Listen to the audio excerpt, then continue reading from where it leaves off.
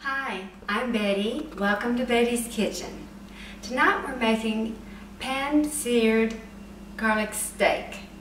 And I, I, decided to do it uh, pan-seared because we have done the outdoor grill for a couple of cuts of steak and we've also done the electric kitchen grill for a steak. And I thought there might be people who don't have either an outdoor grill or an indoor grill, but they've got a skillet. So we're going to use our skillet to sear these steaks to the point where they are uh, as well done as we like. Um, I'm going to start by preparing my skillet over here. And uh, right now I've got it on the warmer burner, so I'm going to turn that on. And I'm going to put a little bit of extra virgin olive oil in here, maybe one tablespoon. So not too much, because if I put a lot, then uh, you'll find when the steak goes in, the water starts oozing out of the steak, and it gets really bubbly, and it's just too much. So right now, I'm just going to let that heat a little bit, and I'm going to make an addition to it. Um, you're familiar with just regular garlic. You need one clove, and this is a fairly large clove that I have gotten uh, just by peeling it off. And then I kind of gave it a crunch with my hand on the counter and uh, removed the shell. And then I minced very finely the actual garlic bulb itself. So I'm going to take that over here and put it in the skillet so it can uh, start softening. I really don't want it to get over brown. I don't want it to burn because that's not a good flavor. You don't want burned garlic. You just want this to soften up and release its flavor into that oil. And I think what I'm going to do is grab a spoon so I can stir that around. And as I said, I've just got it on the warmer burner, so it's going very slow right now.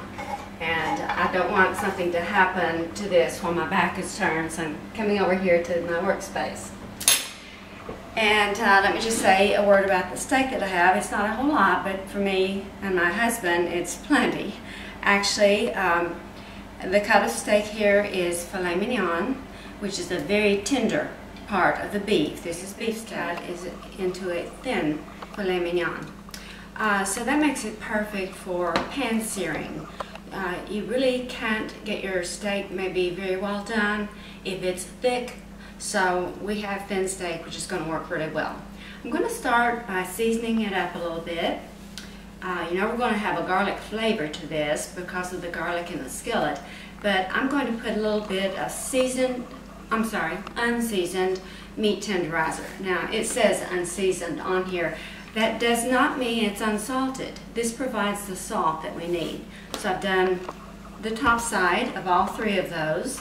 And by the way, uh, all three of these came up to two-thirds of a pound. So each one is something um, like three and a half ounces. So for me, um, that's a good size serving and then maybe two of them or one and one half would be a good serving for my husband. So since there aren't many people around here tonight, this, this will do for us.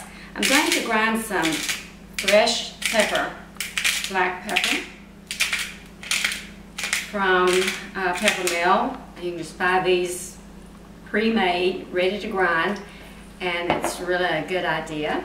We're going to turn that over and get the back side in the same way. And I have a, a wet cloth here to get my hands wiped off.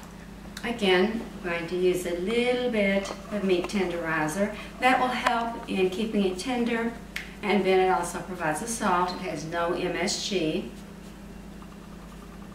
And again, another grind of the pepper.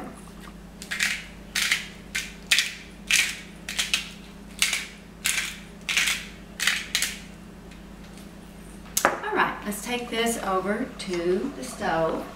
Um, I turned this off while I was away for a moment there because I was afraid that it might burn. It has released some of its juices uh, but it's not really clear yet, but it's still all right to go ahead and put your steaks in. And I think I'm going to move to the back burner there, and we'll turn that on. And then I'm going to put my steaks in. And I, I chose this skillet because it's about the size that fits those three steaks very well. Not a lot of excess room. We don't want them rattling around. Uh, but they, they're not crimped in any way. They don't have to go up the side or, or anything like that. So let me just set that aside and we'll turn this up a bit and concentrate on, on our steak. Now this is going to have to cook a bit, so let me go away and start uh, watching these. I will watch them attentively to make sure that uh, they don't get overdone. I actually like my steak well done.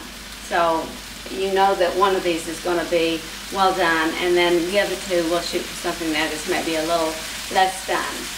So I will be turning these uh, maybe once or possibly more if it seems to need it. And I'll be adjusting the heat if, if necessary. And I'll be making sure that that garlic doesn't burn. I'll be back to show you what we have in just a minute. How the steaks look when they're cooking. Uh, so you're, you're gonna see some pink along the edges. I have turned each one of these just to see what was going on. Make sure the garlic is shifted around uh, so that it doesn't sit in one spot too long and get burned. And uh, this is just what you're going to expect it to look like. So probably when I come back, I'll have them all done to the degree of doneness that I want. Probably one well done and the other two that are a little different. So I'll see you then. I've taken all three steaks off the stove.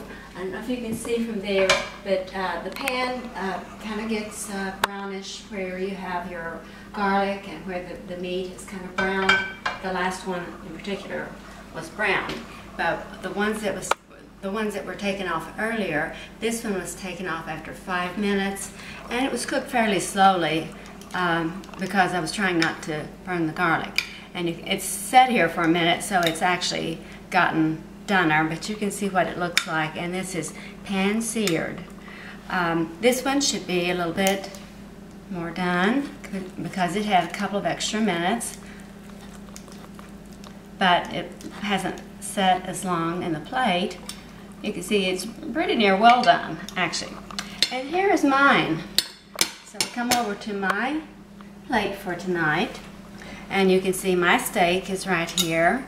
And it's nice and brown on the outside. That's what I like about having it pretty well done. You get the brown outside, and when you cut into it, um, it is uh, maybe a little pinkish here and there, but not much. I don't like much pink on mine. So a lot of you wouldn't like yours this way. You would go more with the one with pink inside. But I have some nice potato salad that I made earlier today. If you're interested in the potato salad, I think I called it Homestyle Memorial Day Potato Salad. And then we have some ciabatta bread, and this is just a little decor. I'm sure you've heard of frosted grapes. You can make them really easily by just dipping, in, dipping them into fr a frothy egg white and then putting them in sugar. Uh, now I have my iced tea to go with it, and I think I'm ready to go.